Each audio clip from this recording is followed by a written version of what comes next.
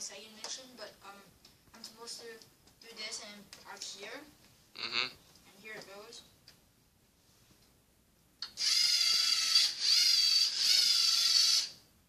Alright, that's very good. What's your problems today?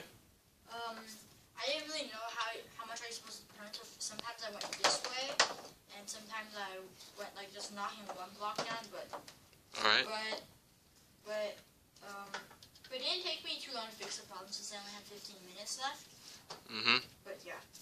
Alright, thank you very much. See you next time. Goodbye.